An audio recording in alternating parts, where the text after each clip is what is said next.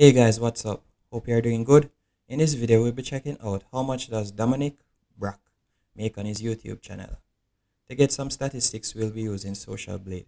Thus far, he has uploaded 65 videos and has amassed a subscriber count of 774,000.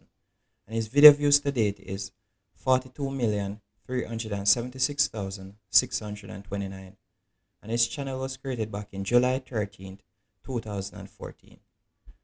And to get an estimate, we'll be using the YouTube money calculator. And we'll be estimating that his CPM is $4. And by the CPM, I mean cost per thousand views.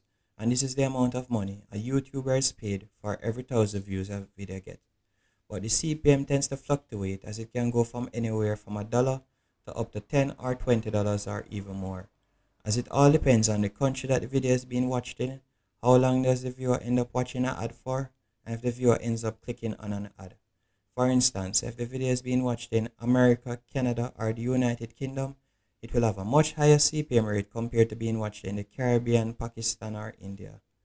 Furthermore, if his videos are over 8 minutes long, as you can see, majority of his videos are over 8 minutes long, you'll be able to put more than one ad break per video, meaning even more revenue. But with at least one ad break per video and an estimated CPM of $4, and his daily view count being 294,000, he'll be earning $1,176 per day.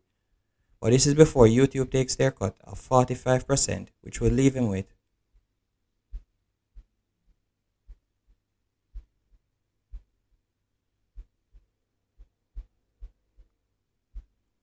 $646 per day, and for the month he'll be earning